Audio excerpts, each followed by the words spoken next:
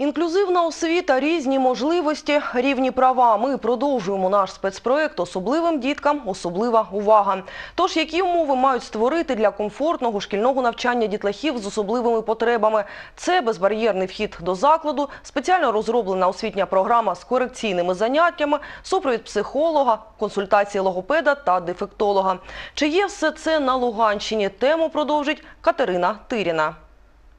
Особливим діткам особлива увага. Додатково це асистент педагога в інклюзивному класі, спеціальні підручники при потребі, пандуси та кнопки виклику. Так, у Білій церкві, що на Київщині, школу облаштували ліфтом, на що пішло близько мільйона гривень. А учнів з особливими потребами привозять до школи на спеціально обладнаному транспорті. Про такі здобутки Сєвєродонецьк може лише мріяти. Не завжди знаходяться кошти на ставку асистента. А коли вони є, не так легко знайти бажаючих працювати. Саме про це казала депутат Сєвєродонецької міськради та заступник очільника Луганської облдержадміністрації на цьогорічній міській педагогічній конференції. Максимально будемо уходити від індивідуальної форми навчання, а дітей залучати все ж таки до школи. Це залежить від того, готові викладачі до цього чи ні. Це 15-та школа. Вона одна з перших в місті, де з'явилися інклюзивні класи. Ще за два роки до прийняття відповідного закону. Лише за проханням батьків та на ентузіазмі педагогів. Ребенок на уровне со всеми. Есть и минусы, и над ними нужно работать. Это материальная база, это подготовка учителей, это специалисты, которые должны работать с этими детьми, помогать учителям работать с этими детьми.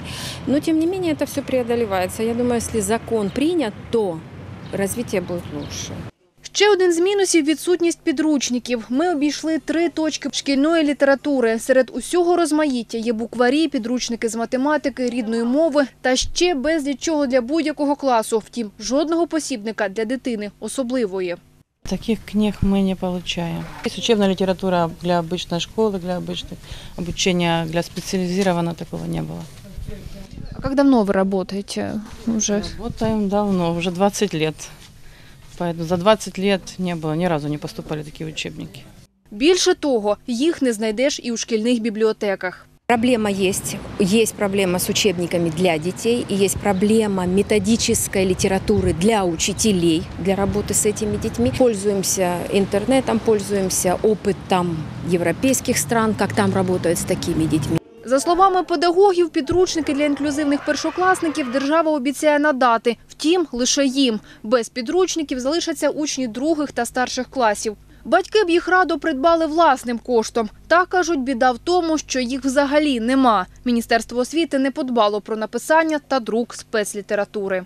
Наш учитель, э, учитывая наши особенности и наши все индивидуальные потребности, она готовит, и, да, готовит материал э, сама, распечатывает и каждому. Вот, вот так мы выходим из положения. С учеб- Учебники нужны, як Конечно, нужны. Учебники очень нужны с учетом э, спецкласса.